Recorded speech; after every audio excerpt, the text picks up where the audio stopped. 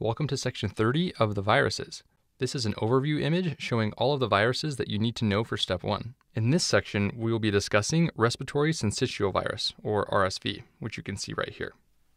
Our story takes place on a hot day on a busy road when traffic is stopped and this car has been stopped in the road for so long that they just opened up the back door. To make matters worse, the car air conditioner is broken and it just adds more heat. Look at this little vent here that reads red searing vent. With a name like red searing vent, you should probably assume only hot air will come out of it. At least the makers of this vehicle were honest about what type of vent this is. In any case, the letters on this vent, RSV, help reinforce respiratory syncytial virus. RSV. Now the hot, hot heat has melted a pair of crayons in the back seat right here. Crayons will melt in the sun, so never leave them out in the car or this will happen. Anyways, this pair of mixing crayons represents that this is a paramyxovirus. So pair of mixing crayons for paramyxovirus. Now notice this little toy of a human. The human appears to be metal. This human metal toy represents human metapneumovirus, or HMPV. Everything that we discuss with RSV also applies to HMPV. So think of HMPV and RSV as basically sharing the same characteristics. Associating these two together won't be hard since the red searing vent helped melt the crayons that now trap the human metal toy. Now you can see this long line of cars totally stopped, stuck in a traffic jam. This long line of cars represents the fact that RSV and HMPV are linear viruses. Notice the red warm colors seen throughout the image. The interior of the vehicle is light orange, and it also has a red paint job on the outside, and even the sky looks like a warm red color. At Physeo, we like to use warm colors to represent RNA viruses. So these red warm colors will help you remember that RSV and HMPV are RNA viruses.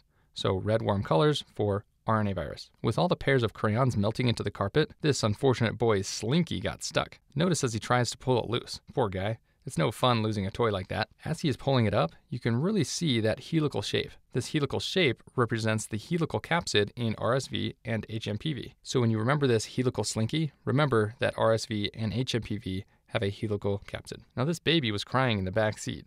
It's hot and it needs a diaper change. So the mom, being stuck in traffic with that red searing vent to make it even hotter, she couldn't wait any longer to change the baby. Now notice this baby's ribs. It looks like he is retracting. When you are concerned an infant has respiratory distress, part of a thorough examination is watching for rib retractions, which indicate it's hard for the child to breathe. So retractions in this infant will help you remember that RSV causes respiratory distress in infants. Naturally, all of this heat led the mom to sweat profusely. So this poor sweating mom in the hot car with the red searing vent represents fever. So when you remember this struggling mother, don't forget how warm and sweaty she is. That way you'll remember that RSV and HMPV cause fever. To add to the hot sweatiness, here's a dark cloud bringing with it all the humidity and sweatiness this poor mom does not need on a day like this. For most of us, dark clouds trigger a negative, ominous feeling. The negativity of this dark cloud represents negative sense RNA viruses. So, dark cloud for negative sense RNA virus. Dark clouds are helpful in representing negative sense RNA viruses for an additional and completely unrelated reason. Dark rain clouds carry lots of moisture, and negative sense RNA viruses also carry something RNA polymerase. Positive sense RNA viruses do not carry this with them, only negative sense viruses do. So, this negative appearing dark cloud should help you remember that RSV and HMPV are negative sense and carry their own RNA polymerase. So, again, these negative ominous clouds carry with them all this moisture, just like negative sense RNA viruses carry with them RNA polymerase. Now, this poor mom has a lot more to worry about than just changing this baby's diaper. She actually has a boogery boy up front wiping mucus all over her front seat. This gross, mucusy boy represents the mucus that is produced with RSV and HMPV. The mucus or drainage causes congestion. The mucus also contributes to the respiratory distress, as we demonstrated with the rib retractions on the baby. Now look at this balloon that is letting out its air as the booger boy lets it go. As it sputters around the vehicle, it makes a wheezing sound. This wheezing balloon will help you remember that RSV and HMPV cause wheezing. The presence of wheezing makes sense because of all the respiratory distress going on. The R in RSV stands for respiratory after all. Now there's some cracks over here on the sidewalk and they kind of look like the respiratory tree. Or maybe they're not cracks at all. Maybe someone else stuck in traffic, like these poor people, just decided to use their artistic ability and draw some lungs on the sidewalk. In any case, if you look at the ends of the branching respiratory tracts, you will see the bronchioles are red and inflamed. This represents bronchiolitis.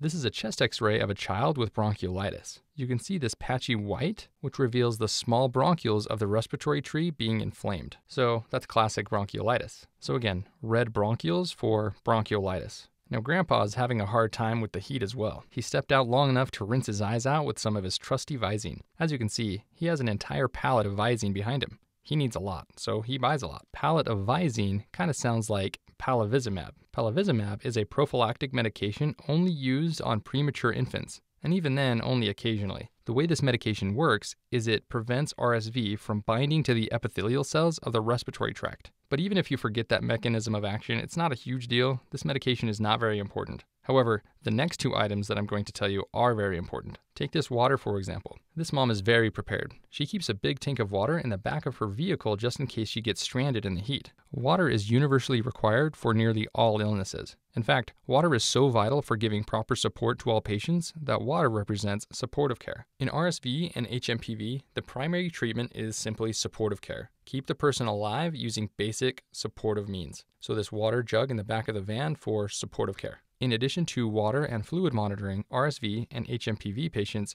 often need oxygen supplementation. Notice this big old oxygen tank that Grandpa is lugging around. You see, having dry eyes isn't the only thing Grandpa needs to deal with. He also has respiratory issues that require oxygen support. This oxygen tank and face mask represent the respiratory support that these infected infants require. So, oxygen tank for respiratory and oxygen support. So, now that you've learned all the material about RSV and HMPV, let's do a question to apply this.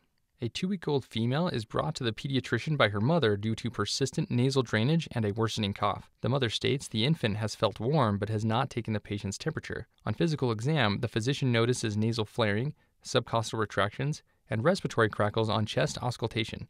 The physician suspects bronchial inflammation due to a negative sense RNA virus. Assuming the physician is correct, what should be the recommended treatment? What we've read here is a common presentation of RSV or HMPV. The patient is a two week old female, so she's a neonate. She has nasal flaring and subcostal retractions, indicating that she's in respiratory distress. Plus, we're told that this is a negative sense RNA virus, which helps point towards RSV and HMPV as well. So, again, we're dealing with an RNA virus that is negative sense and it causes bronchiolitis, which causes respiratory distress in infants. So, how do you treat this infant? Supportive care, including water as well as oxygen support. Now, you may have remembered this Visine and thought you should treat this infant with palivizumab, which is not the best approach. Remember, you don't use palivizumab to treat neonates with RSV or HMPV unless you are using it as prophylaxis in a premature infant. So, what's the recommended treatment? Supportive care, which of course includes fluids and respiratory support. And that concludes all of the items you need to memorize for RSV and HMPV.